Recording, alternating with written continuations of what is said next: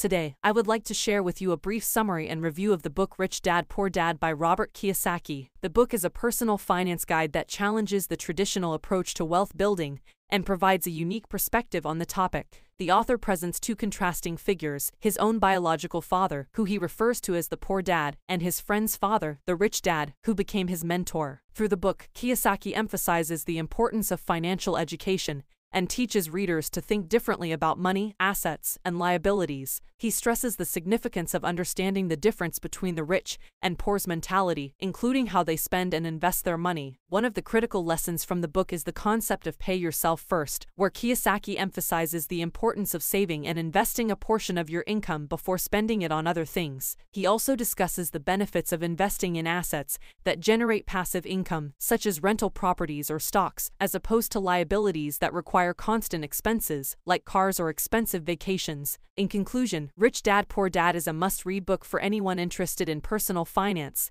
and wealth building. The book provides practical advice on how to break free from the cycle of living paycheck to paycheck and build a solid financial foundation. It challenges readers to think differently about money, to take control of their finances, and to invest in assets that generate passive income. Overall, I highly recommend this book to anyone who wants to improve their financial literacy and take steps towards financial freedom. Thank you.